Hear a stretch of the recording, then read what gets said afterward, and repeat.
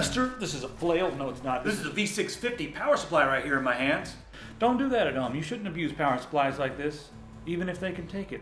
Now, I really like what Cooler Master has been doing with their power supplies as of late. Over the last few years, some of the reviews have been kind of mixed about their power supplies, and they've really uh, they've looked at that. They've looked at the community feedback, and they said, you know, we're going to do something about it. So they went over and uh, they, they designed a lot of things on their own, a lot of you know fresh ideas going on here. Let's just start with the fan right here. This is a 120 millimeter intelligent fan, and they call it intelligent because it basically uh, ramps up as it's needed. So if it's not really needed that much, it's it's going to know, hey, everything's running cool. Let's make it quiet. So you can be cool and quiet, and then if it starts to pull a bunch, it, it'll it'll ramp up. But frankly, if you're pulling a lot of watts, you're probably going to be using a GPU that's going to have a vacuum cleaner for, uh, you know, a fan. And then um, you're not even going to hear this over top of that anyway. So, also this one is modular on the back, and they have a really interesting modular system. As you can see here, that um, there's a lot of cords. It's semi-modular, I should say. So you have a lot of cords here, all the stuff that you pretty much need. You know, like your 12-volt power and your 24-pin uh, motherboard connector and that sort of thing. Uh, all that's right here. Honeycomb design in the back. Now the efficiency on this it's almost always above 90%. So that's pretty cool. I mean, it's, it's gold standard and, and it lives up to it, so it makes me happy. Take a look at all the cables.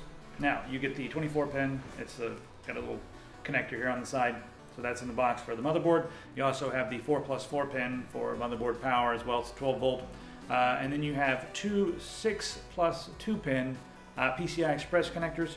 So not quite enough to do um, SLI or Crossfire unless you're using you know cards that only need one 8 pin or one 4 pin power connector on them each. There you go. Uh, SATA connectors, you have eight of those in total. And then your Molex, you have six of those for peripherals. And then you also have one floppy connector. So they're keeping the floppy connector on there. All right, now let's take a look under the hood. The first thing you're going to notice is it's, it's pretty clean under the hood. There's not a lot of stuff going on. Um, and there's also not a ton of glue, I noticed. Um, there's glue in a couple different places to make some of the capacitors, you know, shut up and sit there and do their thing.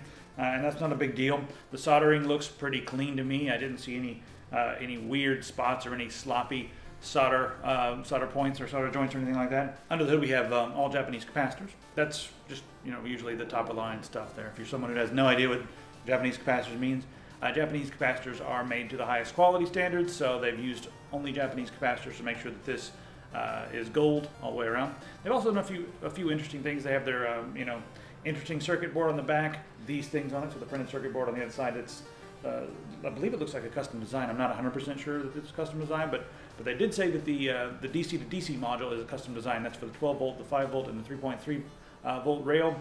Also want to mention that there are 54 amps on that 12 volt rail.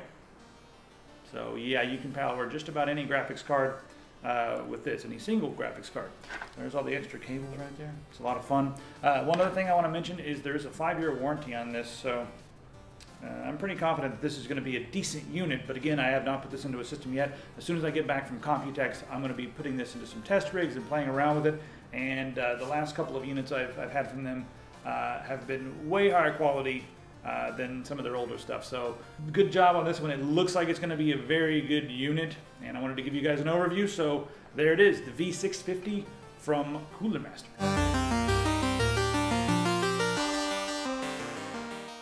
Can't find them anywhere. You mean a power cord? Uh, power cord, yeah, power cord. These are very rare. You can't find these anywhere. They don't make them anymore. I know. Look at it. This is this is an endangered species right here.